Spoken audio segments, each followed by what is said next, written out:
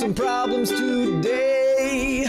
Yes, today we've got some great problems for you to solve, and I'm so glad that you are here with me because I need some help. And yes, our problems are some story problems that have to deal with candy and cows. Now, these are a little bit challenging. We've got some bigger numbers today, so I hope that you're ready. You may have to warm yourself up, maybe do some jumping jacks, get yourself loose because your brain needs to be ready to go. Are you ready? I am. Let's jump in. All right, so our first problem, let me kind of set it up for us. We have some candy and we've got some candy in this jar. So there's 32 pieces of candy in this jar. What happens if I eat 20 of them? How many would still be left in the jar? Can we figure that out? Well, I bet we can. And we can do this in different ways. So we're going to think through some different strategies. But first, we got to figure out what operation are we using? If I'm starting off with 32 and I'm eating 20 of them, what's happening to those 20? Well, they're being taken away or taken out of the jar. So we need to use subtraction, right? We've got to take away. So one of the ways that we could use to kind of solve this problem is we could use some number cubes. And I've got some with me today. So let's think about it. If I start off with 32, how can we represent the number 32? Well, I know that 32 is made up of some groups of 10, right? 10, 20, 30. So three groups of 10 and two more ones, right? That could be 32. Now, if I'm going to take away 20, how could I show that?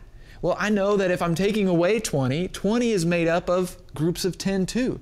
So groups of 10 are really helpful to help us solve problems because I can take away 10, take away a second 10, there's 20, right? If I count by tens. How many do I still have? Well, I have one group of 10 plus two ones. So if I count on from 10, 11, 12, we have 12 candy, pieces of candy still left in our jar.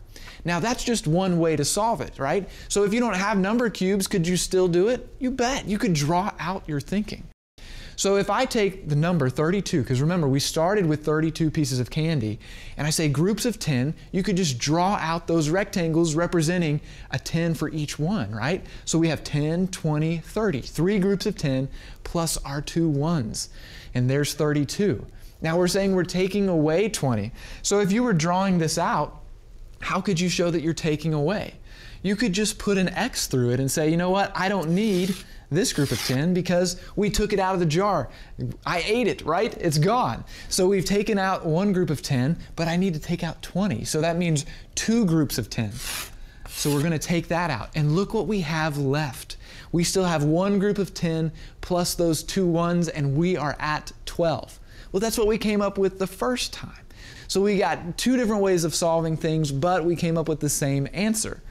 Could we do it another way? I think we can with a number line. Let's think about that one. Now, on a number line, let's start with what we had in the jar, 32, right? And if I am going to take away 20, I can go back and I can say subtract 10, subtract another 10 to be 20, right? So if I do that, let's count backwards by tens. 32, 22, 12. And we come up with that same answer of 12 on our number line. Great job, everybody. Now, we said that there was two story problems. So now let's move on to our second story problem, and this one has some cows involved. So my friend Riley, Miss Riley has a farm, and she has some cows on that farm. And so she has 23 cows. Can you believe that?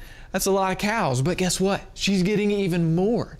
She was getting 30 more cows on her farm she's going to be really busy taking care of all of those cows. But she wants to know how many cows does she now have in total?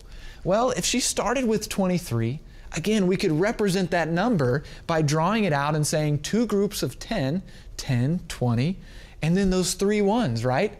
But now we have to add in, and we know we're adding because she's getting more, right? So this time we're adding and we say, we've got to add 30 in there. So three sets of 10 would make 30, 10, 20, 30.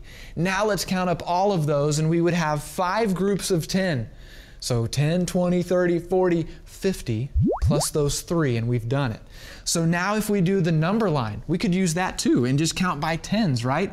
And we said we had to add 30 on. So 33, 43, 53 right? It's the same thing. We get to the same answer and we've done it. So great problem solving today. I know that was tough, but you guys did awesome. So keep learning and keep problem solving, and we'll be back again real soon.